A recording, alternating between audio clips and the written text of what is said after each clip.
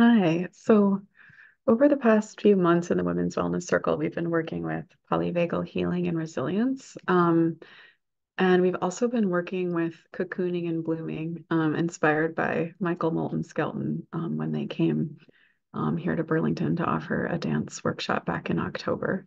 So, here's a practice um, that's inspired by polyvagal healing and resilience by Michael Moulton Skelton and also by um, Manuela Mischke Reed um, of Hakomi Therapy, working with our embryological development um, helps us to kind of slow down and work with movement and the nervous system. Um, so we have a workshop coming up next week, as many of you know, um, called Safe to Move, um, working with feeling safe to move, exploring movement, exploring the neurobiology of safe movement, polyvagal healing, and melting obstacles to movement. So let's just take a moment to kind of imagine ourselves like a fern, which also mirrors the embryological development in the womb as we unfurl our bodies. Um, so we'll begin just by kind of rolling over and collapsing.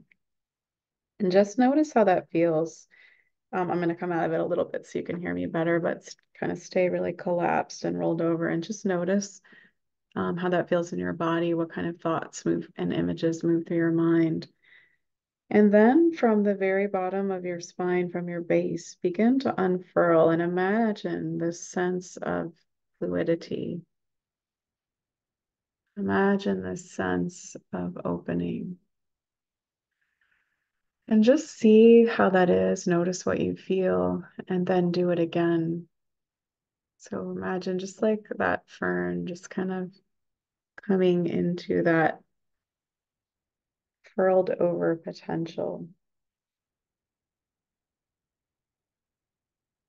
And then from your base, slowly, fluidly, coming up, just notice how that is.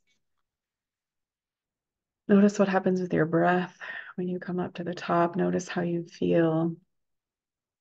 And just one more time, coming back into that cocooning, that furled state. And from the base, opening, coming up all the way through your spine. Notice what happens with your breath. Notice what you're feeling in your body. And see if you work with this as you move through your day, maybe as you're transitioning from one place to another, and just see what happens if you furl and unfurl. How does that affect your breath, your movement, your nervous system, your body? Just see how that is. And if you'd like to explore this and much, much more, um, come join us on Monday. The link is below. And uh, enjoy your body, enjoy your movement, and hold a lot of space of compassion for the places that are stuck and unmoving or frozen. And um, wherever you are, however you are, I'm wishing you a beautiful rest of January 22nd, 2024.